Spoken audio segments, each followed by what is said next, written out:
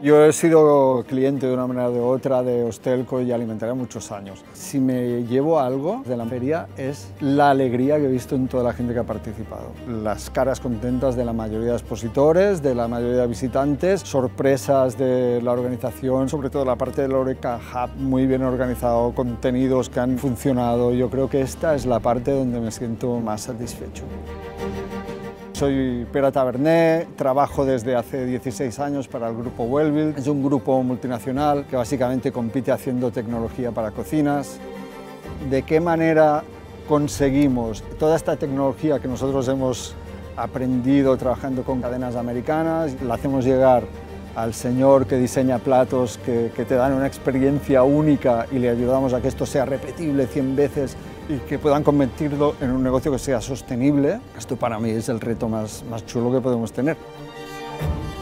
Cuando abrimos un negocio, si es un, un negocio de food service o un restaurante, yo creo que tendríamos que pensar que tiene que ser lo más profesional posible, lo más sano posible, lo más sostenible posible y por supuesto lo más humano posible.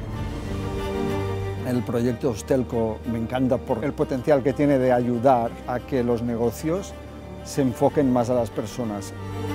Hay una serie de retos.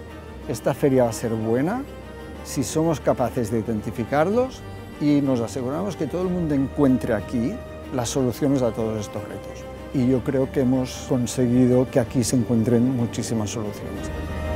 El reto número uno era cómo atraer talento en este sector. Puede ser que la tecnología pueda ayudar a atraer talento a este sector, desde luego que sí. Y se han montado una serie de eventos que, que van muy enfocados a esto. Y desde luego vamos a trabajar mucho en clave internacional. Hemos atraído una serie de partners que son verdaderamente críticos en un mercado internacional.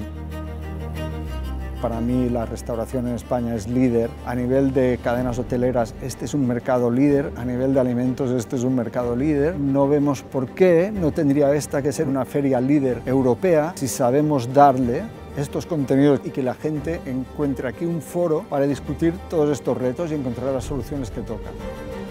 Entonces, en la próxima edición estoy seguro de que vamos a ir mucho más lejos en este sentido.